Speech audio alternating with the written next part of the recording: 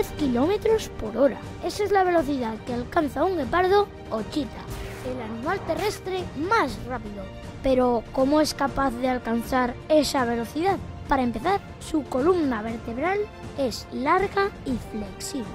Gracias a eso y a sus fuertes patas traseras, consiguen alcanzar los 95 kilómetros por hora en 3 segundos.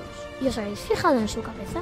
Pese a que se mueve a una gran velocidad, mientras persigue a su presa, consigue mantener la cabeza y los ojos fijos en ella.